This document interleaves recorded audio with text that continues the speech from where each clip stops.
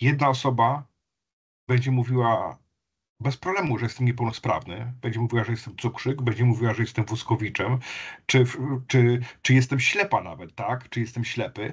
Y, z różnych przyczyn, bo ma y, inną, nie gorszą, nie mniejszą, nie większą, ale inną wrażliwość na, na, na sprawy niepełnosprawności, y, bo ma inny stosunek do świata, do życia, do siebie samego, ma mniejszy lub większy dystans, tak?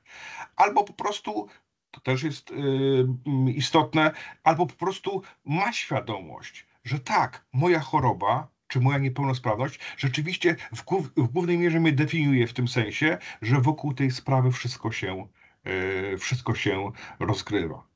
Y, w tej działce, którą się najczęściej zajmuję, to znaczy dzieci z zespołu Aspergera, yy, można by powiedzieć, ojejku, jak można powiedzieć, że ktoś jest autystykiem, tak? No, czy w wersji lightowej, że tak powiem, ASPI na przykład, czy AS, czy inne. No to znaczyłoby, że definiujemy zwłaszcza dziecko przez pryzmat tej niepełnosprawności. No ale z drugiej strony, jak porozmawiamy z dziećmi, a jeszcze bardziej z rodzicami tych dzieci, to uświadomimy sobie, że tak naprawdę ta niepełnosprawność definiuje właściwie całe życie Y, tych, y, tych osób, całe życie rodziny, całe życie tych dzieciaków, gdzie przez pryzmat właśnie te, y, tego zespołu Aspergera no, jest lepsze lub gorsze funkcjonowanie na przykład w środowisku szkolnym.